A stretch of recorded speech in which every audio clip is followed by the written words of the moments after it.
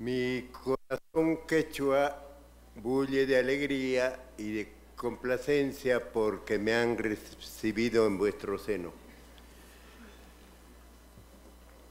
Todos acá sabemos que el mundo está gobernado por las grandes empresas transnacionales. Todos sabemos que Barack Obama, Peña Nieto, Ollanta Humala, el presidente del Perú, no son más que instrumentos de esas empresas. Hacen lo que ellas les ordenan. El único objetivo de esas empresas es ganar más dinero en el menor tiempo posible. Todo el mal que haga eso son daños colaterales, como llaman ellos. Pero eh, todos lo sacrifican a ese su sagrado mandamiento de cómo ganar más dinero en el menor tiempo posible. Y eh, para eso aplastan a la naturaleza, aplastan a la humanidad y eso, bueno, ellos dicen, sí, pues son, son daños colaterales, es decir, ellos piensan eso. Por supuesto que tienen en sus manos no solo a los gobiernos, a los parlamentos. A veces dejan que entre uno o tres o cuatro izquierdistas a hablar en el parlamento para decir, no ven, somos democráticos, ellos también hablan. Pero no es culpa nuestra si no convencen pues a la mayoría, como la mayoría es sirviente de las transnacionales, por supuesto siempre gana la mayoría, pero ellos aparecen como democráticos. Sí, la izquierda también habla, ¿no? Pero, eh, pero siempre queda en minoría.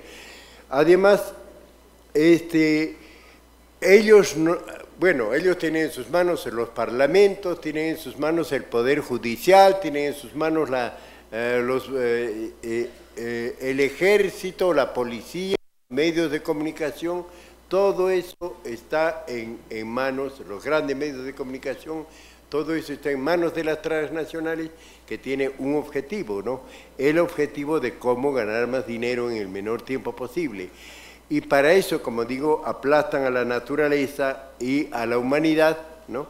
Y a eso le llaman progreso, nos convencen, no, estamos progresando, ahora ya estamos adelantando. Ya, ya estamos adelante. La agricultura no puede, la agricultura que usan los indígenas peruanos es la de la época de los incas, pero ahora ya hemos progresado, pues. usamos la técnica y la ciencia para la mejora de la agricultura. Y claro que usan la ciencia y la técnica para la agricultura, pero la producción que ellos hacen no es en función del consumidor, sino en función de sus ganancias. Por ejemplo, hay una vaca, hay una hormona que se pone a la vaca para que dé más leche, por la técnica y la ciencia moderna. Da más leche. Esa leche produce cáncer al que la toma, pero eso no importa, pues lo que interesa es que les da más, más dinero a ella. Los frijoles, para que no sean comidos por el gorgojo, se ponen insecticidas. Esos insecticidas matan al gorgojo pero también nos mata a nosotros que comemos estos frijoles. Pero eso no importa, lo que interesa es que ellos tengan más ganancia. Así pues, la ciencia y la técnica también son, eh, son dirigidas contra, eh, es decir, contra la humanidad y contra la naturaleza. Bueno, como han señalado los compañeros guatemaltecos, vivimos eh, en, América Latina y en, África, en Asia, en países colonias. Somos colonias, no hemos dejado de ser colonias. Claro, nos han puesto ya el nombre de repúblicas independientes, políticamente independientes, pero continuamos siendo colonias. Ya, ya no hay un virrey, no necesitan virreyes. Si, si, si, Peña Nieto y, Ollanta Humala se aprestan a hacer este... Mm, eh, a, sirvientes de ellos. Nos dicen, ah, pero ustedes han elegido democráticamente, pues. a Peña Nieto democráticamente, a Ollanta Humala también democráticamente. Nos hacen elegir entre el cáncer y el SIDA. A ver, tú eliges democráticamente de qué quieres morir, de cáncer o de SIDA. Bueno, tú elegiste, puedes morir de, morir de cáncer, no es culpa nuestra, tú elegiste. esas son las elecciones, las elecciones democráticas de ellos. Bueno, en el Perú los principales ataques que hay a la naturaleza son las, la minería a cielo abierto, las represas que se hacen para las hidroeléctricas que precisamente van a servir a la minería, la, eh, la extracción de petróleo que envenena los ríos, ¿no? matando a los, a los, eh, en el Perú a los nativos de la selva peruana porque la mayor parte del petróleo en el Perú lo sacan de la selva y la, y la minería de la sierra y la agroindustria. ¿Qué es la minería a cielo abierto? Antes, en época de los aztecas, de los incas, había beta de oro, beta de plata, entonces ellos hacían túneles, sacaban, el oro y la plata, lo fundían y eso no hacía daño a nadie, pues no. Pero ahora que ya no hay beta,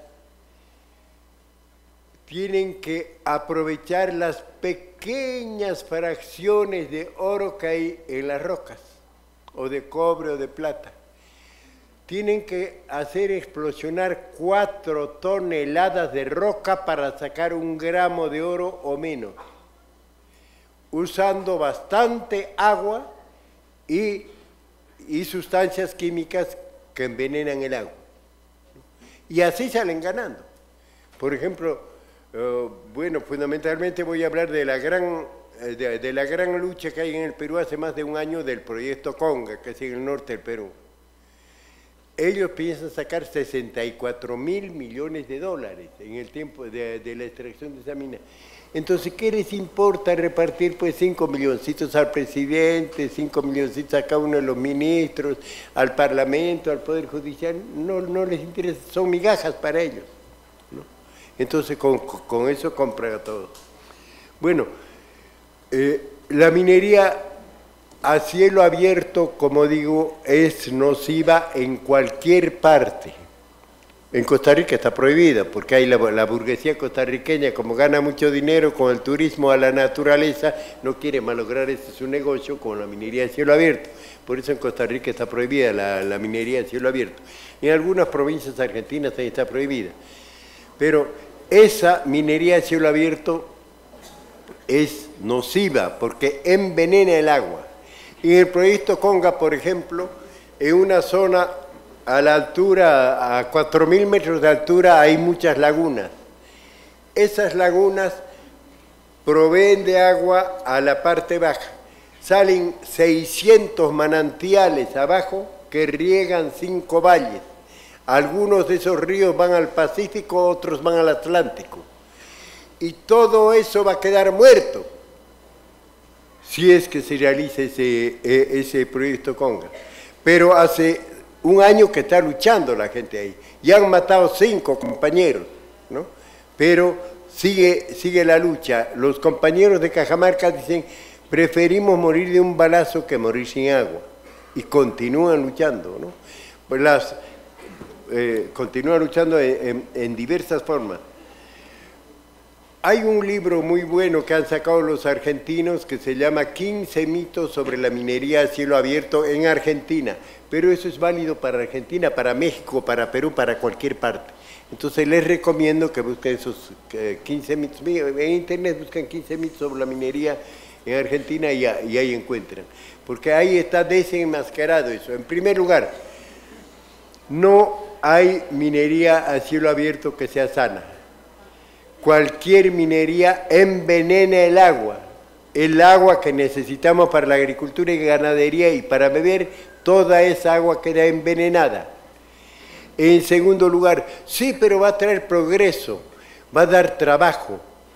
Por cada trabajo que da la minería, el, trabajo agrícola y ganadero da seis trabajos, seis puestos de trabajo. Entonces es falso también eso. No, pero va a invertir tantos millones en el Perú esa empresa. No va a invertir en el Perú, porque van a comprar el molino de piedra más grande del mundo y eso no lo hacen artesanos peruanos, pues eso lo compran en Europa.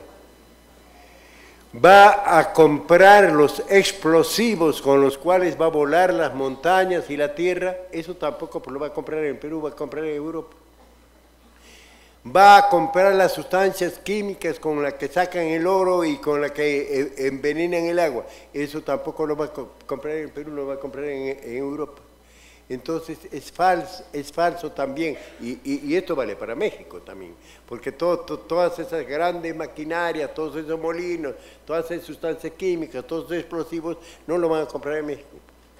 Y acá también es válido eso de que, de que no da trabajo porque por cada trabajo que da, bueno, eh, con esas maquinarias, que, a la gente que sabe manejar esa maquinaria le dan trabajo, pero eso no equivale al trabajo perdido que, que, se ha perdido con haber matado el agua de la agricultura y la ganadería. ¿no?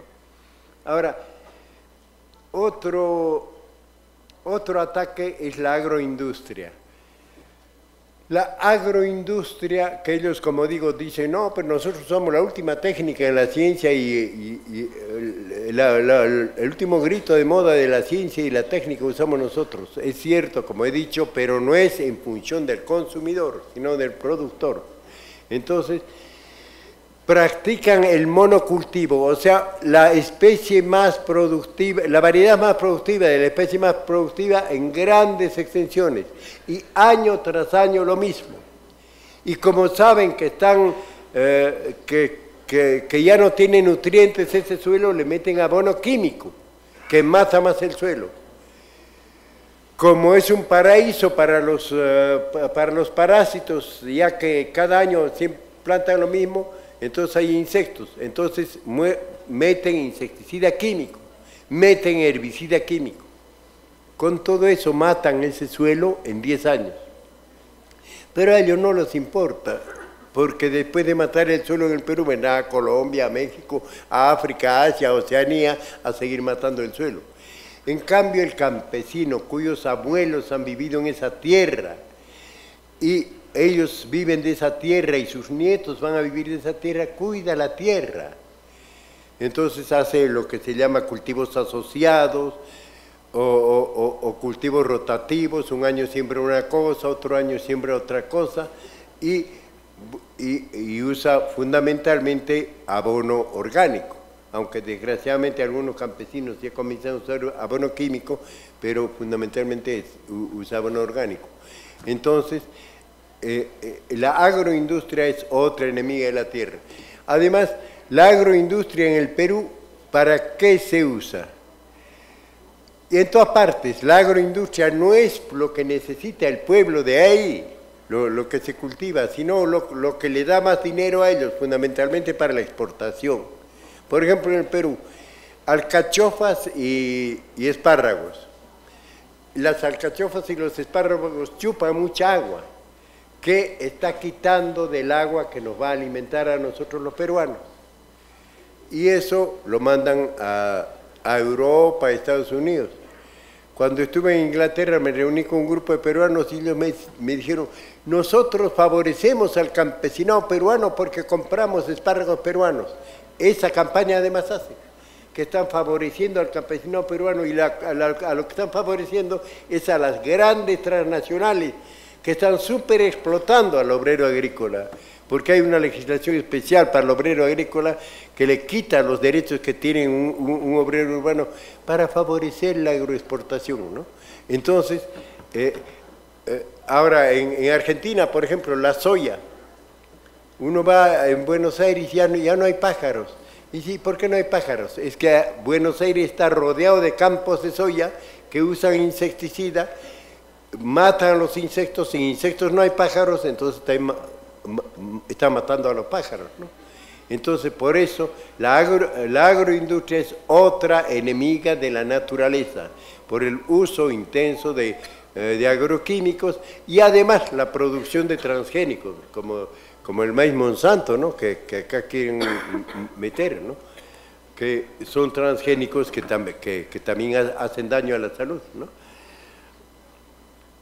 Bueno, las represas, las represas para las hidroeléctricas, acá también hay eso. Porque al hacer una, para hacer una represa tienen que desalojar grandes extensiones de terreno de los campesinos. Tienen que inundar todo eso. Y para eso desalojan a los campesinos. Entonces, esas grandes represas para las hidroeléctricas también son enemigas de la naturaleza. Y las grandes vías de comunicación el gobierno boliviano que se dice progresista está insistiendo en hacer una vía rápida de comunicación desalojando a pueblos indígenas y pasando por una reserva natural, ¿no? Por eso los compañeros del TIPNIS, los compañeros indígenas del TIPNIS de Santa Cruz están luchando contra, eh, contra esa vía rápida de comunicación, ¿no? Entonces, todos estos males son males que nos acogen, que, que, nos aplastan a todos los, latinoamericanos. Bien, ahora, claro, el presidente, hay un video donde se ve que el presidente peruano en su campaña electoral va allí a Cajamarca. ¿Ustedes comen oro? No. ¿Ustedes toman oro? No pero todos tomamos agua, nuestros niños toman agua, lucharé por el agua contra el oro. La gente votó por él y al mes de que estaba de presidente dijo, ponga vacío, sí. Y hace meter bala a, quienes eh, eh, se oponen a eso. Algo, compañero, que, que es importante que hablemos son las formas de lucha. Ahora en las escuelitas en las que hemos estado, hemos aprendido las formas de resistencia y las formas de lucha de los de los hermanos zapatistas. Pero esas formas de lucha y esas formas de resistencia son distintas pues a los compañeros que no son de zona zapatista. Por eso es que esperamos que en otras reuniones del CNI traten de las formas de resistencia que hay para que nosotros y que bueno, y en alguna forma nos transmitan para que nosotros también aprendamos. Allá, por ejemplo, ¿qué formas de lucha hay por, por Conga? Ah, una, cosa, una, una forma de lucha importante es el plebiscito o el referendo. O sea, preguntar a la población si está de acuerdo con que entre en la mina o no, si está de acuerdo con el proyecto eólico o no, si está de acuerdo con una represa que se va a hacer o no. Acá he escuchado que vienen eh, los funcionarios, hacen el plebiscito, pero traen gente ellos y, la policía cuida que nadie más entre. Eso es una cosa. Pero nosotros, la comunidad, tiene que hacer un referendo, dirigida por la comunidad.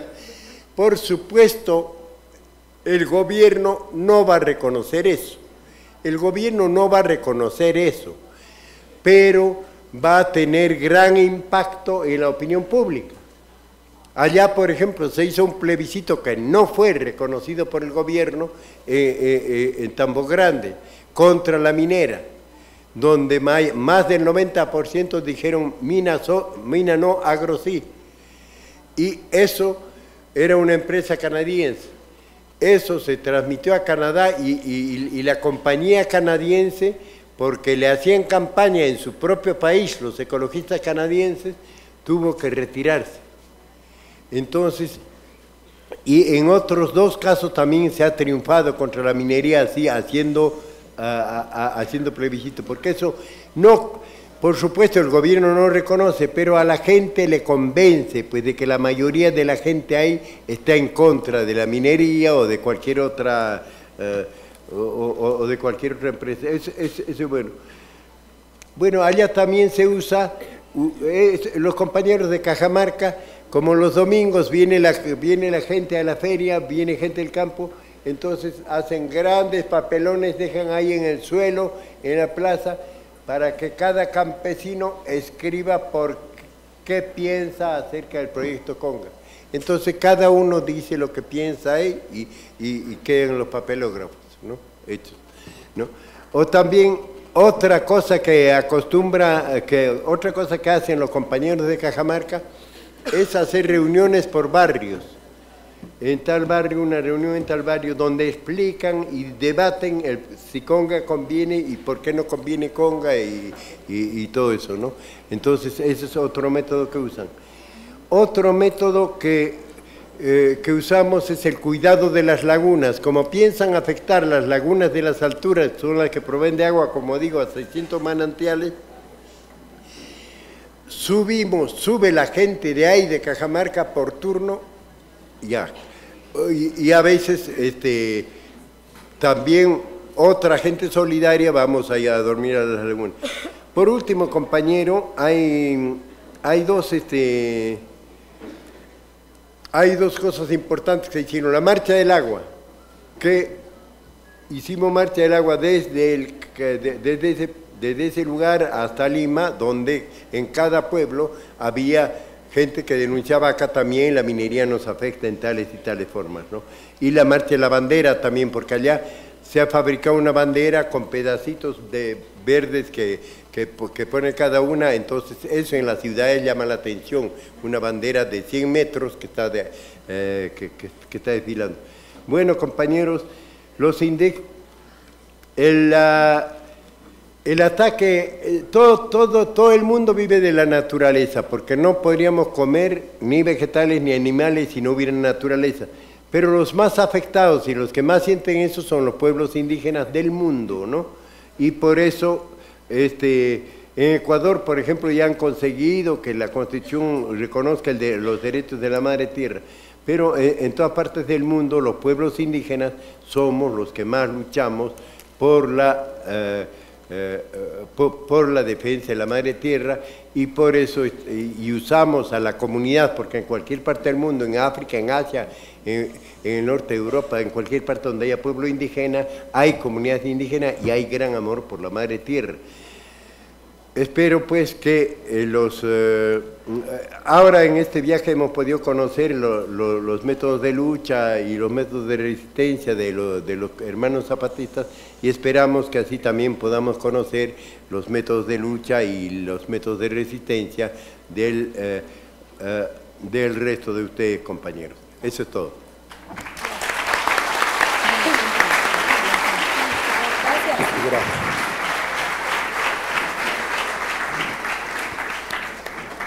Muchas gracias. Ahora